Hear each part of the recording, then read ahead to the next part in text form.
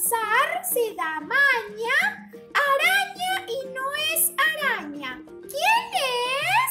Mm, no sé. Niños, ¿ustedes saben? Una pista, una pista. Hace miau. ¡El gato! sí, es el gato. ¿Qué cuento tiene un gato que usa botas? el gato con botas.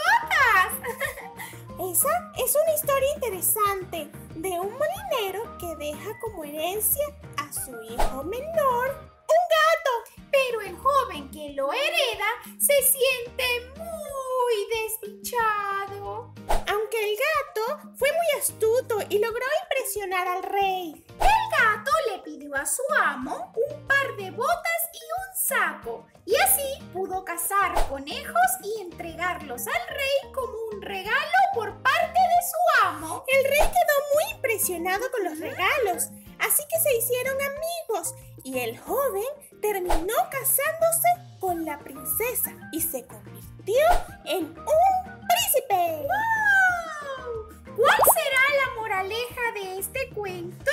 Mm, que nunca hay que menospreciar cualquier cosa que nos regalen, por humilde que parezca. Sí, el hijo menor del molinero se decepcionó del gato que había recibido como herencia, pero jamás se imaginó el ingenio, inteligencia y habilidad que tenía el gato. Hagamos un juego. Katy, ¿qué le ofreció el gato al rey como regalo?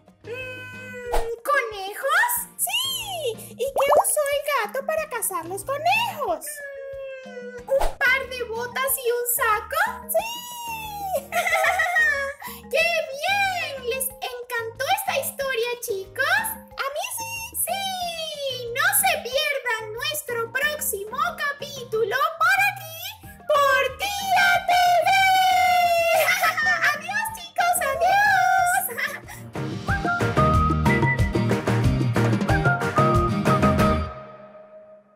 ¿Te gustó este video? Dale click al botón de suscribirse para que no te pierdas de este y otros programas que de seguro disfrutarás. Solo aquí, en el canal de Tía TV.